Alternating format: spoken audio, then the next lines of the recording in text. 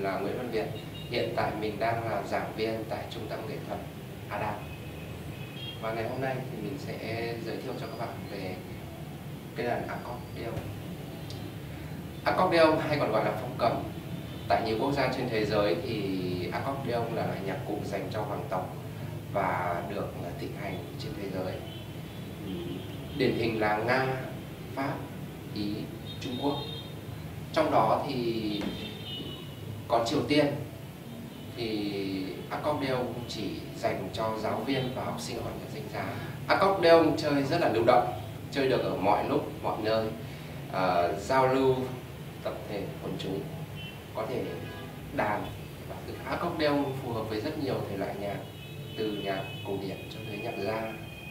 À, điểm đặc biệt của accordion thì khi chúng ta chơi đàn accord à, luyện tập nó thì không chỉ rèn luyện được sức khỏe mà à, còn rèn luyện được một trí nhớ rất là tốt vừa rồi thì mình vừa mới chơi một đoạn nhạc từ cái đàn accordion của mình.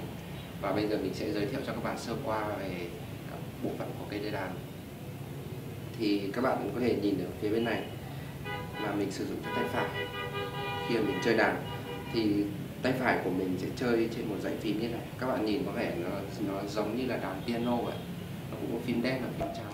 Còn đây là dãy legit tác dụng của nó là tạo ra những tiếng dày, tiếng mỏng khác nhau. Bây giờ mình có thể thử để các bạn xem. Ví dụ đây là mình đang tạo một tiếng mỏng này.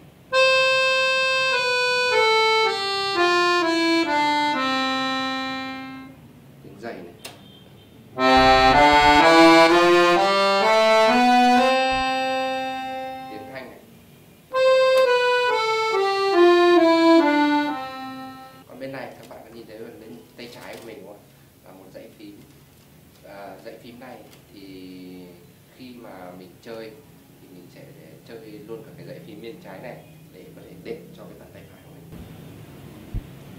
Và sau đây mình sẽ hướng dẫn các bạn sơ qua về cách chơi đàn. Thì ở đây mình có hai cái dây và mình đeo nó lên vai.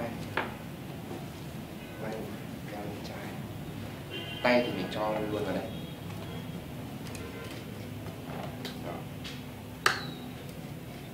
Mình ôm đàn với tư thế này thẳng lưng. Sau đây thì khi mà mình muốn chơi đàn thì mình chỉ việc ấn và kéo ấn tay phải và kéo tay trái. Cái tay trái này sẽ là cái, cái để dùng để kéo.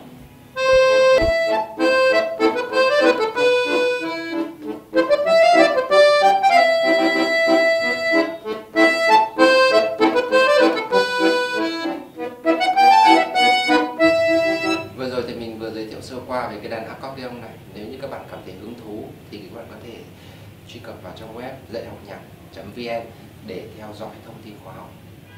Xin cảm ơn và hẹn